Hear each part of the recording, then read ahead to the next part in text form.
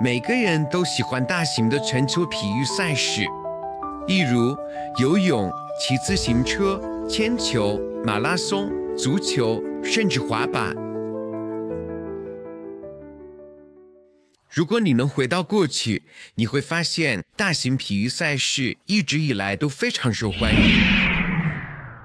现代奥林匹克运动会已经举办了一百二十八年。如果你再往前追溯，再往前，继续追溯，欢迎大家来到古代奥林匹克运动会。两千多年前，来自希腊各地的运动员会聚集在一起进行比赛。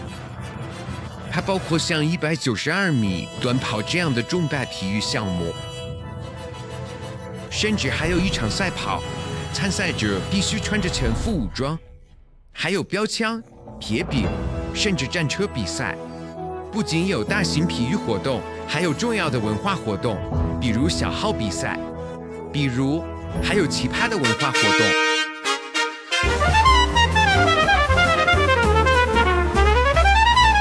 这些运动员训练刻苦，他们专注且坚定。古代奥林匹克运动会持续了一千一百六十九年。当奥林匹克运动会在希腊举行时，耶稣就在海的另一边出生了。他教导人们，行了奇迹，死而复生，然后回到了天堂。他留下了他的追随者来继续他的工作。保罗成为了耶稣的追随者，并且旅行了很多地方。他写了我们今天仍在阅读的重要书信，在其中一封信中，他想解释如何追随耶稣。他想，我会用赛跑来解释它。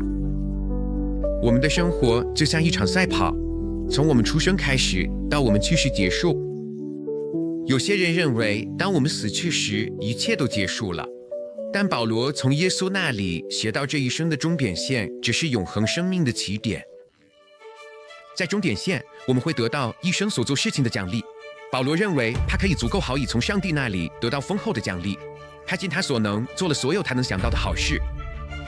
但是没有人是足够好的，除了耶稣，没有人能做到。只有耶稣能使我们与上帝和好。他付出了代价。所以，保罗不是独自跑人生的赛跑，而是跟随耶稣一起跑。你也可以，而且这里有一个惊人的部分：耶稣已经赢得了比赛，并为你提供了奖品。什么奖品？在天堂与耶稣建立永远的友谊。所以，继续奔跑吧。